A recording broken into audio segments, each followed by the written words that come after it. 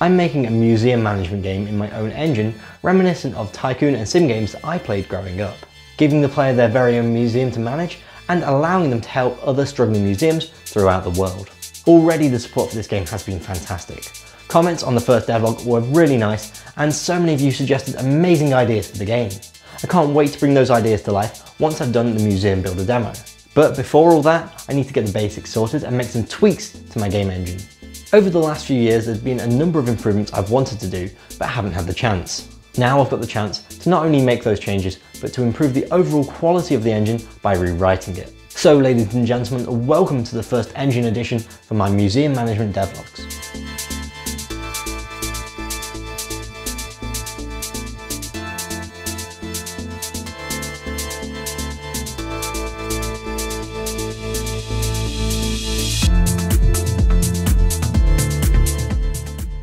As we begin today's devlog, I'm in the process of rewriting my game engine. I can't wait to show it off, however it's in very early stages right now. So instead let's take a look at the current engine, take a look at the features it has and discuss why I want to rewrite it. When I started the engine back in 2019, many decisions that seemed small at the time have had a huge impact on every game I've made. That's resulted in weird code smells, such as every single game object requiring two constructors to use. The engine is also very unintuitive. Aside from the level editor, which is a nightmare in itself, there's no UI, it's all configured with code. That means every sprite, every collider, every particle, and every bit of UI has to be designed manually without seeing what it looks like. I want to solve these issues, not only for me, but for other game developers, as I'd love to one day be able to give someone the engine and see what they can make with it. Despite the rewrite, I don't feel like I'm completely starting from scratch. Many of the features in the engine are great and I want to keep although many of them could do with some improvements. Let's take a look at each of the features in the engine and discuss my plans for each one. Starting with the first feature I added to the engine, animated sprites. These are crucial to almost every 2D game and I've used them in all of my games. They've worked really well although they are a pain to set up. I'd love to create a tool, possibly integrated into the level editor to help set up sprite sheets and animations. Next, collision. Collision was an early engine feature. I originally started with a simple system that checked each shape against each other. During the development of Project Tarim, I replaced that with a quadtree system to improve performance. I absolutely love the quad tree approach and I plan on keeping it. The main limitation of the system right now is the shapes that you can use. You can only use points, circles and squares, and you can't even rotate them. To allow for more shapes and rotation, I plan on implementing the separating axis theorem, which I read about a while ago. Next, input. This was another early engine feature. Input uses an event-based system where events are fired based on what input is detected. I really like this approach and want to expand it to include custom bindings and a greater set of input devices such as controllers. These three features have been the backbone of every single game I've made in the engine. Sound has also played a part, however as we'll see in a short while, I haven't really done much to support sound in the engine. Moving on to some more interesting features. First, particle systems. These seem to be all the range in game dev these days, for a good reason.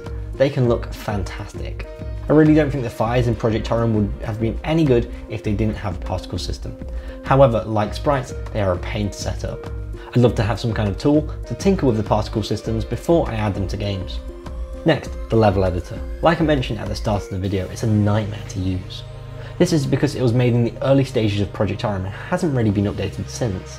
I'd love to update it to be its own standalone program, support auto tiling, UI design, and the smaller tools that I mentioned earlier like the particle and sprite editors.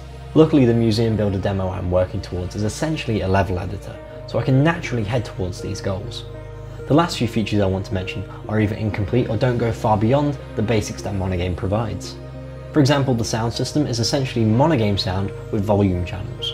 I definitely want to improve this as layering sounds was an issue in Project Tarim, however I don't really know how to approach this. If you've got any suggestions on how to improve that, then please let me know in the comments below. Pathfinding is another limited part of the engine. I originally planned to properly implement this in Project Tarim, however I didn't have time, so I just have a simple agent that can move to a point and a longer path. Unfortunately that means all of the paths in that game are manually created.